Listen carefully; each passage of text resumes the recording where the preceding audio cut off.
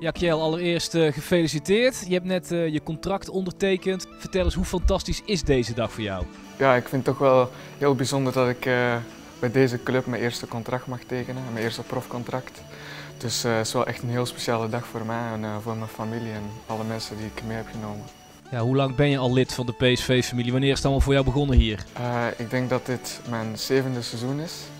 Dus van mijn negen, negen jaar ben ik, nee tien jaar ben ik hier. Dus Ja, was het moeilijk voor jou om als Belgische jongen hier te aarden? ja, het was toch wel even wennen in het begin. Maar Wat zijn de eh, verschillen? ja, zeker mondigheid vooral. Ja, zeker. Dat vooral. Want dat is ook wel iets wat een keeper misschien wel nodig heeft. Ja, klopt. Je moet eh, heer en meester zijn, hè, daarom. Maar het is mooi dat ik bij deze club het heb ook kunnen leren. Dus. Kun jij eens vertellen wat jouw plan is met PSV en wat het plan van PSV is met jou? Ja, eh, ik denk dat ik dit jaar me ga laten zien bij de onder 18. Eh, daar probeer ik eerste keeper te worden, mijn best doen en dan zo snel mogelijk de stap naar PSV 1 maken. Dat is mijn doel en dat is ook het doel van PSV. Dus.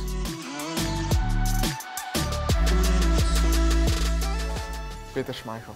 Vertel waarom. Dat is misschien niet de naam die ik eh, als eerste had verwacht. Nee, klopt. Het is eh meeste mijn stijl. Ik heb vroeger mijn opa, noemde me altijd Kleine Schmeichel. Ja, dus daarom, mijn opa is er niet meer, maar hij heeft veel voor mij betekend. Dus ja, ik, vind hem, ik heb ook veel filmpjes van hem gekeken, dus het is echt een topkeeper, uit alles. Beetje mijn stijl daarom. Ah, aan PSV, de club, de trainers die, die me hebben geholpen en eh, de geschiedenis ook. PSV heeft een heel mooie geschiedenis. Eh, PSV laat ook veel jeugd doorstromen, dus de kansen zijn redelijk hoog.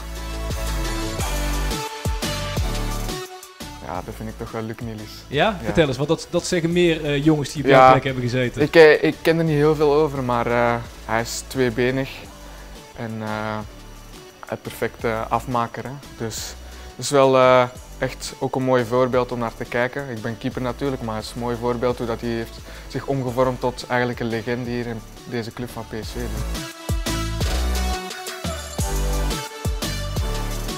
Ja, ik wil iedereen bedanken eh, bij dit contract. Ik wil mijn eh, ouders bedanken. Ik wil mijn eh, oma, mijn opa die er jammer genoeg niet meer is. Ik wil alle buschauffeurs van PSV bedanken, want ik ben ook in België, ik word elke keer over het weer gereden. Dus daarvoor wil ik mensen bedanken. En in het bijzonder Mo wil ik echt graag bedanken, Mo buschauffeur. En ik zou ook graag mijn vrienden willen bedanken, die me ge- geholpen hebben en gesteund hebben. Dus, en mijn managers ook natuurlijk, die eh, zijn ook heel hard in dit verhaal betrokken. Dus iedereen bedanken, mijn oma ook, dus zeker.